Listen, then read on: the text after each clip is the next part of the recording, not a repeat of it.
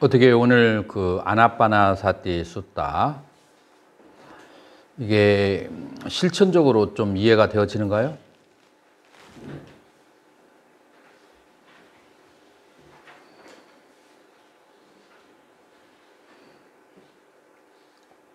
아, 네. 좀 어려운 것 같아요. 이제 관념으로 수행하는 어, 지금 이건 관념이 아니지. 실제적으로 행하는 방법을 지금 얘기를 한 거지. 음.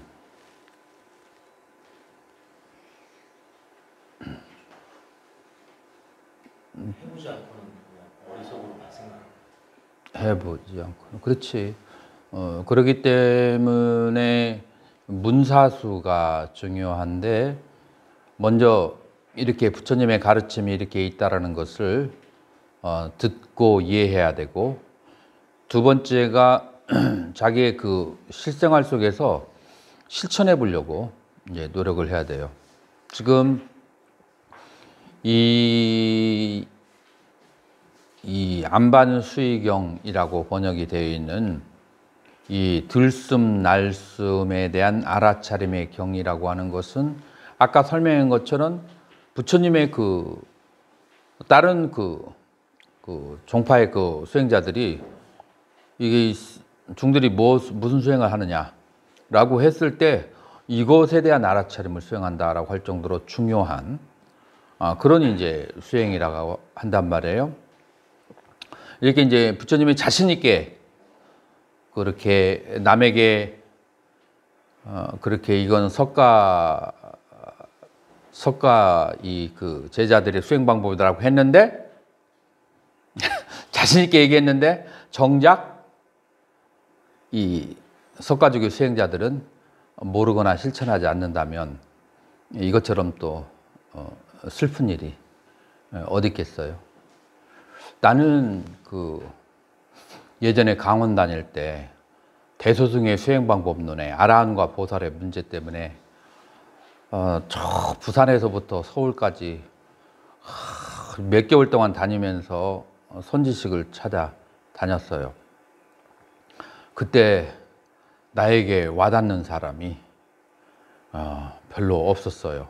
근데 나의 기여는 어디에서 왔느냐면은 성상현 법사라고 그 서울대 법대 나왔는데 그분이 어, 암인가 뭔가 걸려가지고 죽기 죽게 됐어요. 그런데 그 병상에서 갑자기 부처님이 나타나신 거야.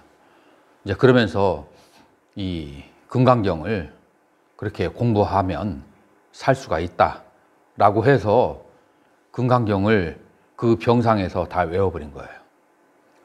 그러면서 그 금강경의 이치가 깨닫게 되고, 그 다음 금강경을 다 외우고 난 다음에는, 그 다음에 이제 여러 다른 경전을, 어, 뭐, 원각경, 능가경, 법화경을 다, 이분은 다 애워. 애워서 강의를 하는 분이야. 그걸 다 그렇게 애워서 이렇게 경전을 염하다가 목숨이 이제 살아난 거야. 그러니까 이분은 신심이 대단하죠. 오직 불법을 전하는 거. 이거밖에 없는데. 내가 금강경에 대해서는 해석을 듣다가 이분 설명을 듣고 가장 마음에 어, 좀 뭐가 와 닿았어요. 아, 경전의 가르침이. 이제 그래서 이제 이분을 따라서 그제 광주에 이분이 서울에 사는데 광주에서 아, 이분이 이제 법회를 매주 그렇게 했었어요. 1년 정도를 내가 쫓아다닌 것 같아요. 근데 어떤 일이 있었냐면은 이분은 이제 법사님이고 신도들이 막 수십 명씩 와서 절을 하고 인사하는데 뭐가 있었냐면은 나는 쳐다보지도 않아. 옆에 스님이라고 앉아 있는데 쳐다보지도 않고 여기에 삼배하고 가고 그냥 완전히 그 뭐라고 할까 무슨 취급을 저기를 하는 거예요. 이제 뭐 나는 배운 사람이니까 뭐 어, 당연히 하다고 생각하지만 그래도 나는 스님인데 라고 하는 그런 생각이 바닥에 깔려 있었죠. 그러다 화장실 가려고 복도로 딱 내려가는데 그 학생의 법회가 있었나 봐. 학생의 법회가 있었는데 그 학생들이 올라가서 올라오면서 스님 안녕하세요 하고 반배를 하는데 그게 얼마나 막 그냥 감사하고 고마운지 그때 내가 서운을 내가 내세웠다는 거 아니에요. 어, 내가 우리 후배 스님들은 이 법을 설명해 줄 사람이 없어서 부처님의 가르침을 이 나처럼 이렇게 고달프게 하는 일이 없게 하리라. 라는 서원을 세우고 이렇게 공부를 계속 해왔어요.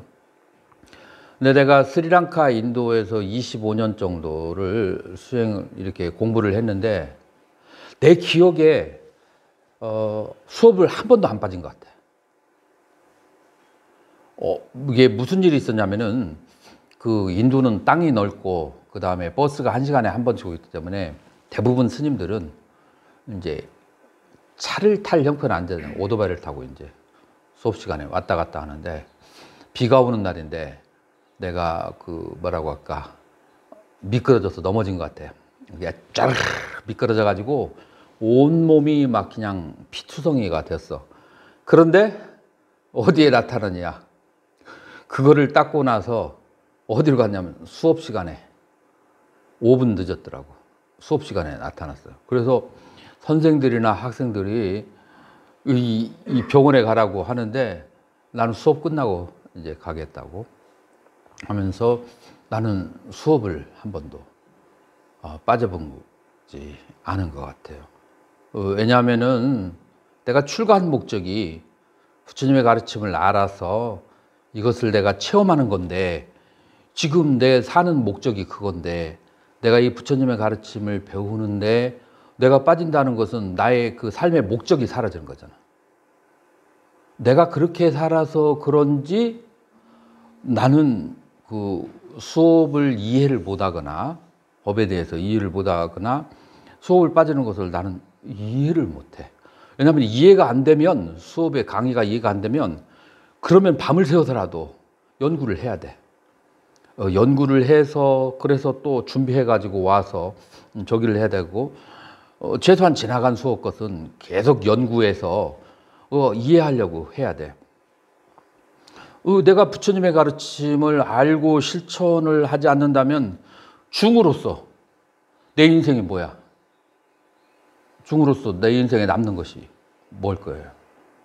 이제 나는 이제 그렇게 어, 살아왔어요. 근데 가만히 생각해 보니까 내가 예전에 공부할 때 내가 그 경전을 물어보는데 대답을 해주는 것이 너무 내 마음에 와닿지가 않게 이해가 안 되도록 막 그렇게 하는 것을 보면서 내가 아주 고통을 많이 어, 당했기 때문에 내가 거기서 이제 원력을 세운 것이 그 원력의 힘으로 어, 그런 것 같아요. 내가 이번에 이제 십지경을 탈고를 이제 그 불교신문에 쓰는 것을 십지까지 다 탈고를 했거든요. 그러면서 거기에 뭐가 나오냐면 이 구지하고 십지의 차이는 팔지에서 구지 십지 차이는 팔지부터부터 아나보가 무공용의 상태가 돼요. 마음에 원하는 것이 없어. 그러기 때문에 뭔가를 열심히 노력을 하지 않게 돼요. 그런데도 수행을 하는 이유는 뭐냐면은 본원력. 처음에 초지보살이 되었을 때 그 세운 그 서원력의 힘에 의해서 떠밀려 가듯이 떠밀려 가는 거라고. 그게 팔지와 구지와 십지의 어, 차이라고 그렇게 얘기를 어, 하더라고요. 그래서 이 서원이 어, 서원이 있어야 돼요. 출가한 사람은 서원이라고 하는 것은 아라한이든지 보살이든지 이 둘 중에 하나에 서원이 있어야 돼요. 내가 지금은 못하더라도 언젠가는 아라한이 되든지 보살이 돼야겠다라는 그런 서원이 있어야 돼요. 근데 솔직히 아라한도 보살도 마음에 안 와닿을 수 있어. 솔직히 내가 출가자들을 봤을 때 어, 그런 거에 대해서 신심이 안 나는 상태가 있어. 이게 지금 현실이야. 그러면은 어떻게 해야 되는가? 나는 그것을 또 고민을 하는 거예요.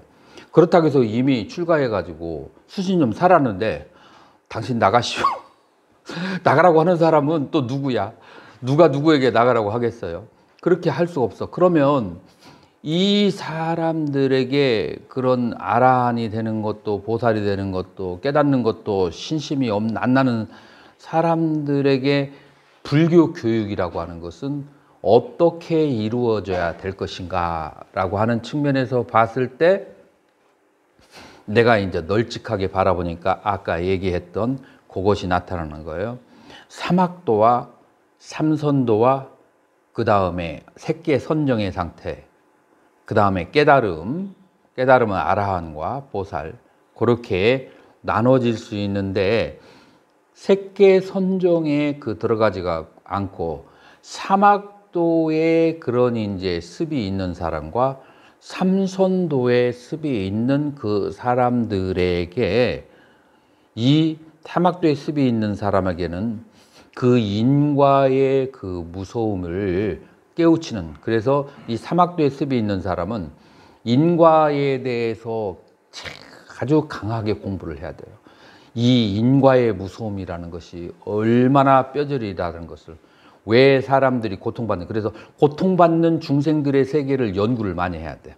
그러면서 이것들이 다 인과에 의해서 온다라는 것을 아주 절렬하게 그렇게 이제 공부를 해야 되고 어, 참회를 그렇게 해야 되고 삼선도에 집착이 남아 있는 사람들, 삼선도에 집착이 남아 있는 사람들은 그 사람들은 이 복과 낙이라고 하는 것이 얼마나 무상한지를 관찰을 해야 돼요. 자, 그랬을 때 우리가 이제 지금 현재 하는 것은 정념의 수행을 하고 있어요. 그래서 기본적으로는 이 단계를 거친 사람이 정념의 수행으로 들어와야 돼요. 자, 그런데 이 단계를 거치지 않은 사람이 정념의 수행을 할 수 있겠어요, 없겠어요? 있기는 있어요? 수월 스님은? 단계를 거쳐야 될 것 같습니다. 단계를 거치지 않으면은 이제 굉장히 어려운 거죠. 그런데 단계를 거치지 않은 사람이 마지막에 이 불법에는 항상 자비의 문이 있어서 그런 사람에게도 조그만한 좁은 문이 이제 있어요. 무엇이냐면 미리 그 과거의 그것을 느끼지 못했어도 신, 수, 심, 법이라고 하는 것을 관찰해서 몸이라고 하는 것이 부정한 것이고 그 다음에 느낌은 전부 다 괴로움이라는 것이 그 다음에 마음이 무상하고 법이 무아인 것을 집중적으로 관찰하게 되면 아까 얘기했던 그런 이제 깨달음을 얻을 수가 있는 거죠. 그래서 이 신수신법이 무상코 부정무아를 관찰을 개별적으로 하는 것을 자상을 관한다고 하고 그 다음에 어, 신 수 신법 각각이 무상고 부정무아라고 하는 것을 그러니까 이 사념이 각각 네 개가 각각 다 무상고 부정무아라는 것을 관하는 것을 공통된 상이라고 해서 공상을 관한다고 그래요. 그래서 이 자상과 공상을 관하는데 자상을 관하는 것은 어, 자량유에서 관하는 것이고 공상을 관하는 것은 그것은 가행위에서 관하는 거예요. 그래서 이 견도에 들어가기 전에 그 앞에 이제 설일체유부가 나오면서 이 두 개를 시설을 한 이유가 그럴 근기가 안 되는 사람을 위해서 자량과 가행이라고 하는 것을 시설했는데 이 초기 불교에서는 자량과 가행이가 따로 나와 있잖아요. 어디서부터 설일체유부에서 유식으로부터 육아 중간학부로 그 후대학부로 5대의 다섯 가지 오이 수행법이 어, 계속 존재하거든요. 그래서 어, 이 자량과 과행이라고 하는 그것이 무엇이냐면은 신수신법에 대해서 관찰하는 걸 통해서. 그래서 수행센터에 바로 그 밑에 단계가 없는 상태에서 들어갔더라도 이 신수신법이 무상고 부정무아라고 하는 것을 경전을 통해서 혹은 관찰을 통해서 자상과 공상으로 광찰을 함으로써 이그 단계를 거치면 견도에 아, 들어올 수 있는 아, 방법이 아, 있다라고 하는 거예요. 어, 이제 여기에서 이렇게 애를 써서 공부를 하는 이유는 인과가 너무 뚜렷하기 때문에. 자, 인과가 뚜렷하기 때문에 그렇고 두 번째로 이렇게 애를 써서 공부하는 이유가 있어요. 학감 스님. 그 이유가 결정적인 이유가 또 하나 있어. 아마 어서 들었을 거예요. 근데 이제 지금 얼른 떠오르는지 모르겠는데 두 번째 이유가 있어. 누가 떠오르는 사람 있어요? 지금 열심히 수행하고 공부하지 않으면 안 되는 이유가 있어요. 두 번째 이유. 뭘까요?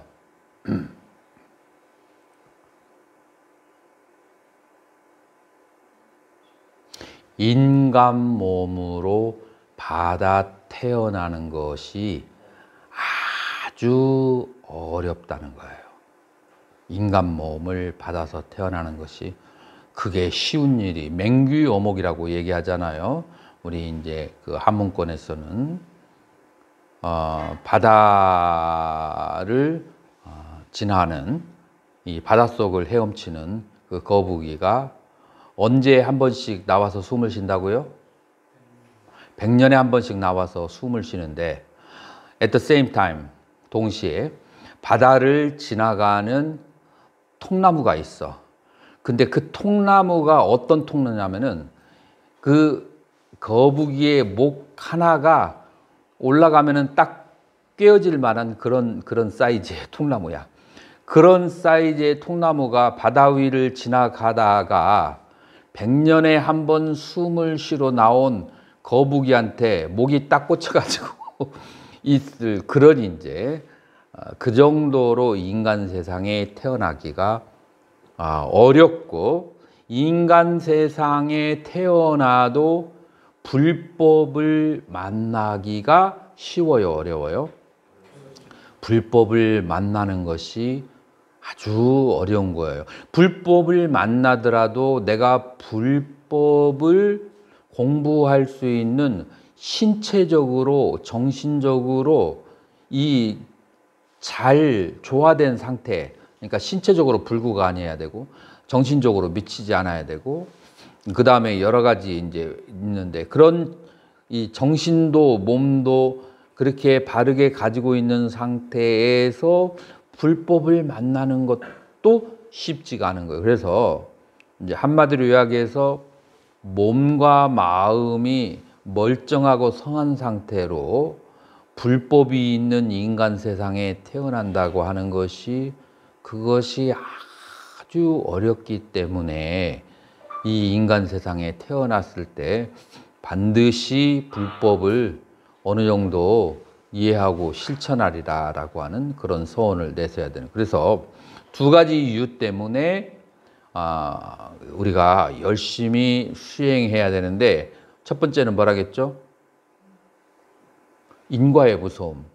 우리는 지금 현재 먹고 잘고 사고 하는 것이 전부 다 무엇에 의지해 있어요? 시주물에 의지해 있어요. 그 시주물을 의지해서 우리는 살기 때문에 반드시 그 빛을 앞으로 우리는 내려와야 돼요. 그렇기 때문에 우리는 도를 성취해야만 되고 두 번째로는 무엇 때문에 인간 몸 받아서 태어나기 어려웠기 때문에 그러기 때문에 이제 우리는 수행을 열심히 해야 돼. 자, 교수사가 어떤 것이 잡일까요? 이런 것을 아는 교수사가 학인들이 공부 열심히 앉는 것을 어 그래 그래 잘한다라고 하는 것이 올바른 교수사일까요? 아니면은 학인들을 꾸짖어서 열심히 공부하도록 인도하는 것이 올바른 교수사일까요? 그때 그때 그 렇지 그때 그때 다르지. 그렇지만 기본적으로는 반드시 수행을 하도록 불법을 그렇게 많이 공부하도록 그런 식으로 유도를 그렇게 해야 올바른 교수사라고 할 수 있죠. 자, 네. 인간몸 받기 어렵다고 했는데 이제 내가 이렇게 생명을 유지하고 살기에 많은 사람들한테 많은 존재들한테 피해를 주고 음, 신세를 지고.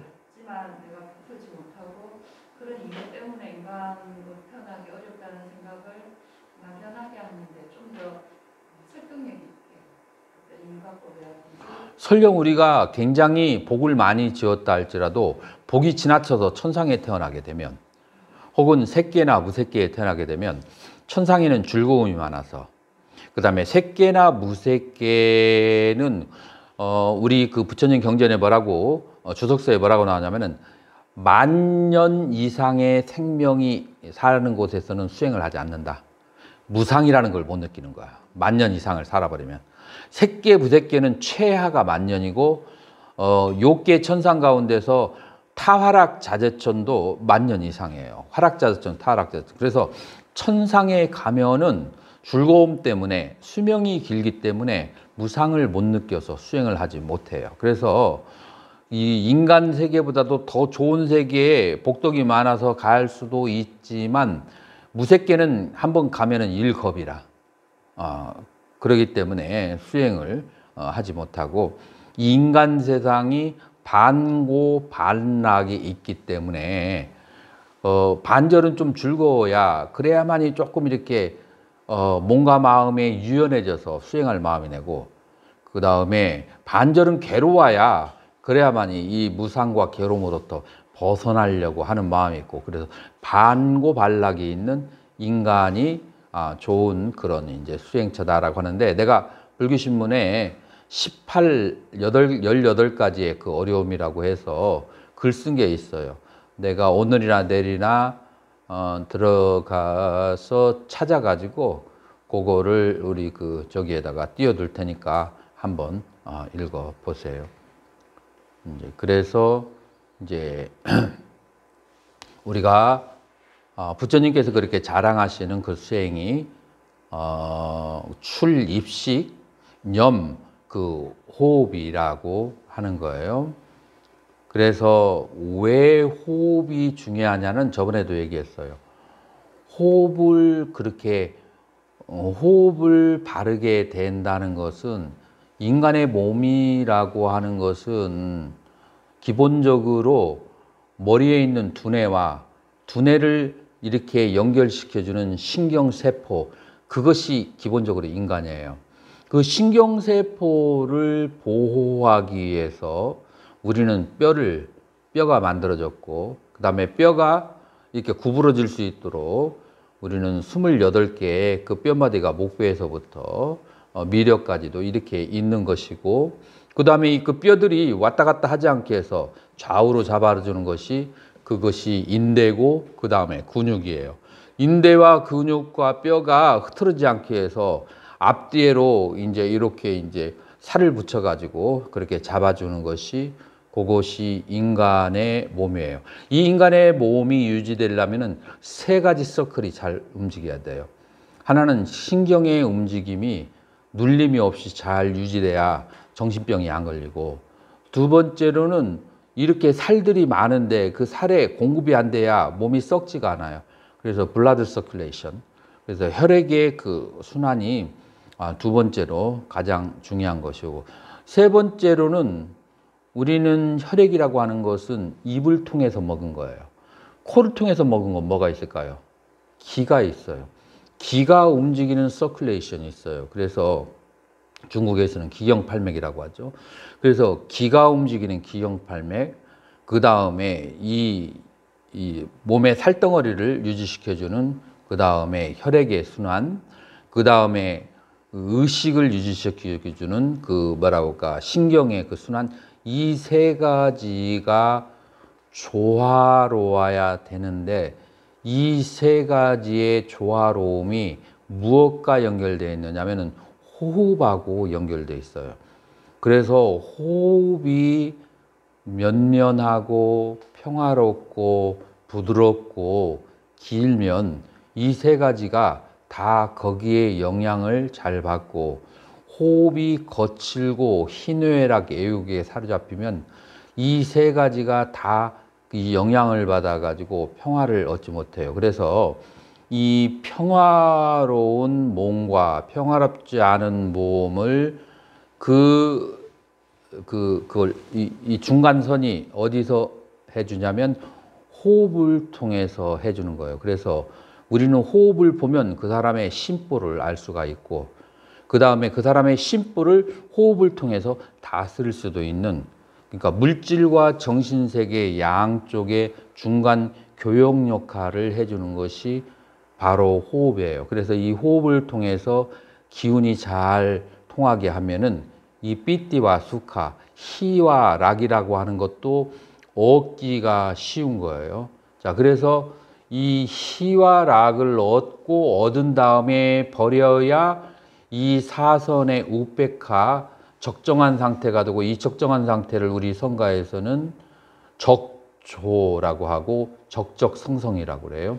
이 적조, 적적성생, 그 다음에 우백과 평안한 마음이 되어야 그제서야 법을 바라봤을 때 법의 실체가 보이기 시작하는 거예요. 그래서 우리는 수단 방법을 가리지 않고 사선을 성취해서 그리고 그 사선에 들어가는 데는 위파사나 사선, 찰나선이 있고 그 다음에 사마타의 그 몰입 사선이 있어요. 그래서 위파사나 하는 사람과 사마타 하는 사람 양쪽 다 사선으로 들어가는 거예요. 사선의 상태에서 우리는 법의 실체를 봐서 그래서 이 법의 실체를 보는 깨달음을 얻어야만 하는 거예요. 우리는 그거 하려고 우리는 아, 출가를 어, 한 거예요. 만약에 그것을 정 못하겠으면은 정말 복을 엄청나게 아, 중생들에게 복을 지으면서 복에 대한 집착 없는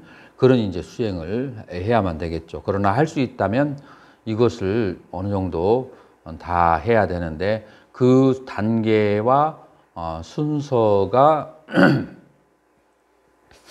어, 무엇이냐 하면은 첫 번째가 숨을 들이쉴 때 아, 숨을 들이쉬는 것을 느끼고 내쉴 때 내쉬는 것을 느끼는 거예요. 이게 왜 간접적이에요? 숨을 들이쉬길 때 우리는 들이킨 것을 느낄 수 있고 내쉴 때 어, 느낄 수가 있어요. 자, 그리고 그 다음에 숨을 쉬는 그 기간 동안 잡념을 가지지 않고 숨이 들어가는 것을 계속 지켜보는 것, 그것이 길면 긴 줄, 짧으면 짧은 줄을 계속 그것을 지켜보는 것이고, 그래서 길면 긴 줄, 짧으면 짧은 줄을 그것을 어, 알게 되는 것이고, 그 다음에 이제 호흡의 길고 짧은 것이 그것을 다 체험을 하고 몸으로 느끼게 되면은 그 다음에 온몸으로 이제 숨을 들이키는데 이것은 이제 기혈이 막혀 있는 사람은 이, 이게 밑으로 안 내려가요. 그래서 억지로 한다고 해도 되지 않아.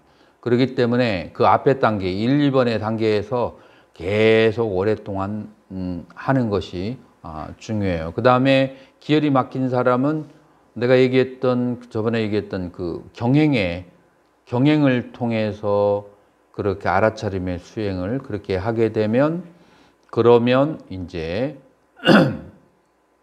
기혈이 이제 뚫리게 돼요. 그래서 이 경행을 통해서 깨달음을 얻은 사람이 누구죠? 어, 안한존자예요. 그래서 안한존자가 어, 경행을 통해서 어, 깨달음을 그렇게 얻은 분이고, 그래서 어, 숨을 들이쉬면 들이쉼을 느끼고 내쉬면 내쉬는 것을 느끼고, 그다음에 온몸으로 그 온몸으로가 이것이 뭐 코 끝에서 될 수도 있고 목까지 될 수 있고 그 다음에 단전까지 될 수 있고 자기가 경험하는 대로 들이쉬고 내쉬고 어, 그렇게 하면서 이제 그것을 느끼는 것이고 온몸으로. 그 다음에 그 몸으로 하는 그 호흡이 평화롭게 하면서 그러면서 들숨 날숨을 내쉬는 것이 네 번째고 그래서 몸으로 하는 호흡이 평화롭게 되면은 그러면은 이제 마음의 기쁨 삐띠가 생기고 그 다음에 여섯 번째 몸의 즐거움엔 수카가 생긴다. 이게 이제 5번, 6번이 어, 되는 것이고 그 다음에 마음속으로 어떤 생각하는 것이 있으면 생각하는 것을 알아차리면서 그러면서 호흡을 하는 것은 7번이고 그 다음에 그것을 알아차리기 때문에 어, 생각이 그것이 가라앉는 것을 8번 아, 8번의 그런 수행 방법이고 그 다음에 이제 알아차리게 되어서 아, 심과 심소가 동시에 생멸하는 것인데 이 심소라는 생각이 가라앉게 되면 심만 동로하게 된단 말이에요. 그래서 이 마음이 어, 마음을 느끼면서 9번 그러면서 어, 숨을 들이쉬고 내쉬고 그 다음에 이제 이 마음의 삐띠와 슈카가 발생하기 때문에 그것을 느끼면서 아, 또 숨을 들이쉬고 내쉬고 10번 그건 초선부터 삼선까지 그래서 마음이 완전히 집중되어 있는 우백가의 상태에서 숨을 들이쉬고 내쉬는 것은 11번 그 다음에 12번은 마음이 그 모든 고라큐로부터 자유로워진 상태에서 이 평온한 우백가의 상태에서 아, 숨을 들이쉬고 내쉬는 것이고 이 평온한 상태에서 법이 보이는데 법이 계속해서 생멸하고 무상하다는 것을 알게 되고 13번 14번 생멸하는 것에 집착할 이유가 없다라는 것을 알게 되고 14번 그 생멸한 것에 집착함이 사라졌을 때 마음이 순간적으로 정멸에 이르는 어, 15번 정멸을 체험하면서 숨을 내쉬시고 내쉬고 그 다음에 정멸을 체험한 다음에 그 정멸에 대한 집착마저도 놓아버리는 16번 그걸 하면서 숨을 들이쉬고 내쉰다라고 하는 거예요. 이것이 바로 무엇인가? 16단계의 그 아나빠나 사띠 들숨 남숨의 그 수엠의 경이라고 하는 거예요. 지금 이거하고 내가 저번 시간에 어, 설명했던 어, 단전으로 호흡을 할 때 지수하풍을 그렇게 느끼는 수행 방법을 얘기했잖아요. 자, 숨을 내쉬고 들이쉬길 때 공기가 들어가고 나가는 것을 느낄 수가 있어요, 없어요? 자, 그러면은 사대 가운데 뭐죠? 풍대, 풍대를 느끼는 거예요.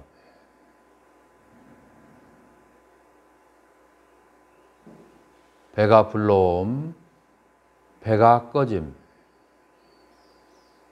여기에서 바람이 들어가고 나가는 것을 보고 느낄 수가 있고요.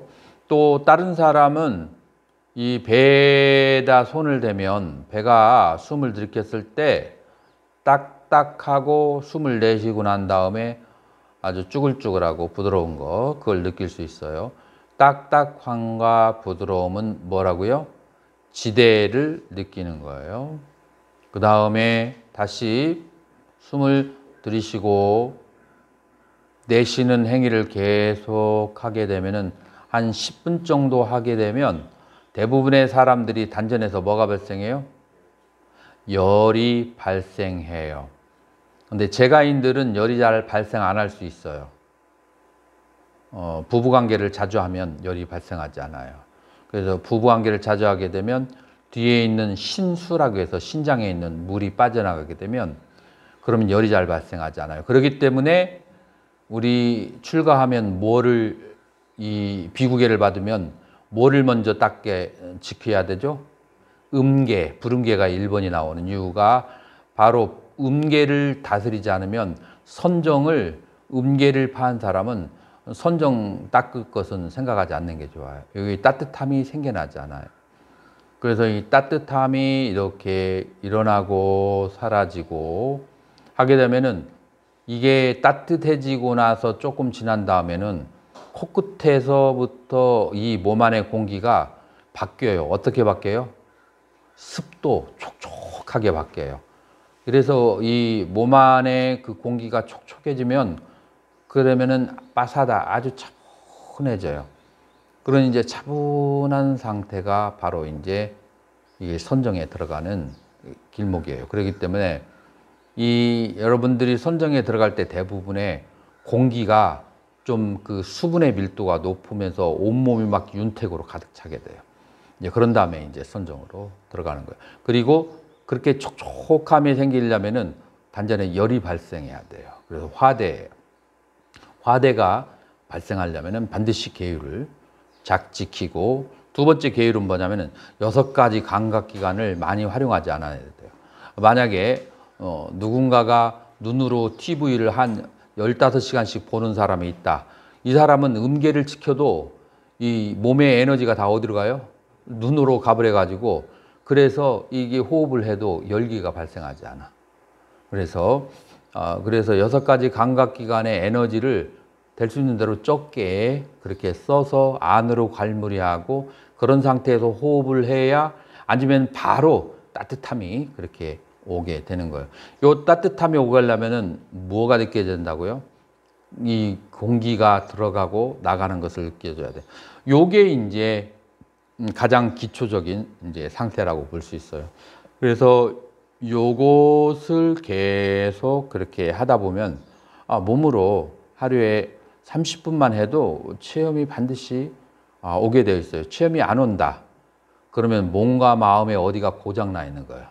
그러면은 고장 난 것을 진단을 받아 가지고 수리를 해야 돼. 음, 그렇죠? 어, 그래서 이- 그런데 이제 이와 같이 알아차림을 그렇게 하려고 할 때 그때 이 지수화풍 사대를 그냥 하면은 도가의 수행하고 비슷해요. 여기에서 불교의 수행으로 가려면 생하고 멸하는 것을 이게 배가 불러옴 꺼짐이라고 하는 것을 그 다음에 배가 뜨거워졌다가 차가워지는 것을 그 다음에 축축해졌다가 건조해지는 이런 반대적인 요소 그래서 하나로 계속 생존해 있지 않고 계속해서 변한다고 하는 것을 놓치지 않고 계속 봐야 돼요. 그래서 첫 번째 이런 모든 수행과 행위를 하면서 뭐를 놓치지 않아야 되느냐? 무상을 계속 바라봐야 돼요. 그리고 무상이라고 하는 것을 개념이 아니라 자기가 직접 경험을 했을 때 그것을 했을 때 그 다음에 자기 스스로 질문이 나와요. 이런 무상한 것들에 대해서 이렇게 찰나찰나 계속 사라지고 이게 생멸하는 것을 내 인생을 여기에 바친다라고 하는 것이 과연 가당키나 하겠는가?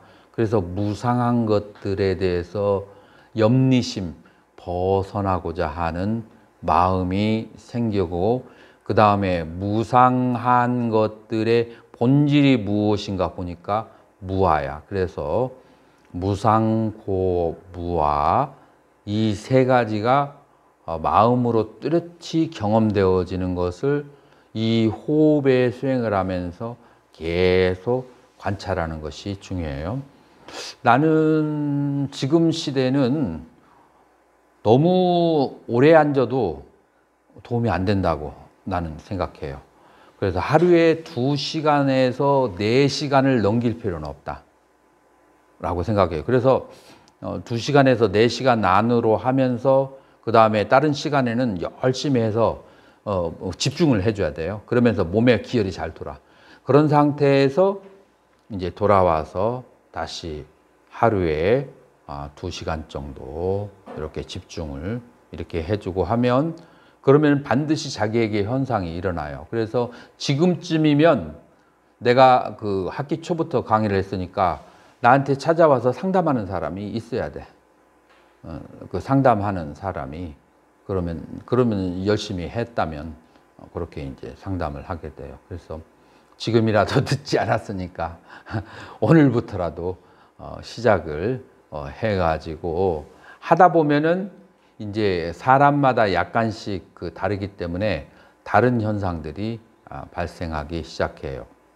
그리고 이제 중요한 것은 내가 이런 수행 안 해도 다른 수행이 있다. 라고 생각할 수 있어요. 그런데 내가 죄송스럽게도 초기 불교에서 설일체부, 중간학파, 유식의 선종의 수행까지를 정리를 한 사람이야. 이게 다 여기에서 맥이 꿰어지는 거야. 다 여기에 어, 연결이 되어는 거기 때문에 어, 이 기초와 바탕을 떠나서 따로 어, 수행이라는 게 존재하지 않아요. 그렇기 때문에 음, 각 파의 수행 방법을 한번 경험해 보면 좋지 않은가요? 어, 마치 보석을 좋아하는 사람이 진주를 좋아한다면 루비, 사파이어 다 이렇게 쳐다보면 다이아몬드 다 보면 좋지 않는가요? 그 5대 학파의 수행 방법이 그렇게 각각 다른 보석들인데 어, 수행하는 사람은 어, 당연히 막 거기에 대해서 다 체험하고 싶은 그런 열망이 어, 생겨 생겨야 되지 않을까요? 아, 그래서 여러분들이 오늘은 그 어, 아나빠나사띠의 16단계의 수행 방법이고 그 다음에 이 16단계의 수행 방법에서 13번부터 16번까지를 구체적으로 설명한 것이 어디에 있느냐면은 대념 적용의 법념 처에 어, 칠각지 이후부터 있어요. 그래서 다음 시간에는 여러분들 자료는 다 나눠졌어요. 그러니까 다음 시간에는 대념 적용을 어, 그 칠각지 이후부터 쭉 그렇게 12연기까지 그렇게 할 거니까 아, 이 잡듯이 한번 그렇게 준비를 해 오시고 어떤 사람은 이런 말 할 수도 있어요. 대념 적용 다 끝난 다음에 하나씩 하나씩 하지 왜 이걸 중간에 또 했느냐라고 생각할 수 있는데 이게 그 뭐라고 할까 그 뒤에 단계의 기초가 되기 때문에 이걸 중간에 삽입해서 어, 그렇게 설명을 한 거예요. 자, 이것으로 오늘 강의는 마치고 어, 질문이 있으면 질문 받겠습니다. 음, 질문 없으면 우리 통학하는 스님들, 우리 스님들 잠깐 저 도서관에 와서 차 한 잔씩 어, 마시도록 하겠습니다.